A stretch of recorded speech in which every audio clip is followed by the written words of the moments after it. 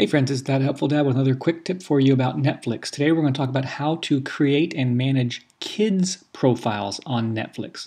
And, you know, we make lots of video tips for you about, you know, watching TV online, whether that be tips about how to use Netflix or Amazon Prime or the different streaming TV apps. You can find us on YouTube at The Helpful Dad, or you can go to our website where you'll find us at thathelpfuldad.com. Here's some examples of the content that we write about, and you'll get a chance to see reviews, honest reviews on uh, the different streaming services apps, as well as just, you know, different things to be aware of. I'll put a link in the video description. But for now, let's get back to Netflix. I want to know how to create kids profiles.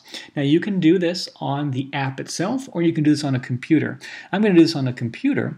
And if you do that on a computer, we're going to go to the top right hand corner. We're going to access our profile area. On the app, you would go over to the left-hand side where you get to the menu on the app, and at the top is where you access your profiles. Here we're on the computer, and you can see we have currently four profiles set up. You have Mayan, and then we also have Mommy, Jiho, uh, and Jax, my sons. But if you click on Manage Profiles, you're going to be able to see we have four profiles currently.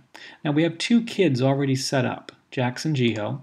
And if I wanted to change their pictures, I could do that here. I could change their name, and I could also change their content level. Now, this is going to only restrict them because these are set up as kids' accounts, which I'm going to show you how to do in a moment. They're automatically set up with parental controls installed, so they can only watch either little kid only shows or little kids and only shows. So Jax is 10, so we give him the ability to watch, you know, the the um, older kid shows as well too. But if I wanted to go to my four-year-old, oh, he actually should be under the little kids. we need to save that. So Jiho's only four, so he's going to be under little kids. If I wanted to add a new kid's profile, though, how do we do that? We click on Add Profile, and we're going to put this as kid number three. And if we select this box of kids, if you check that, you're automatically going to be able to restrict the content to kids or below. So let's go ahead and check that, and we're going to continue.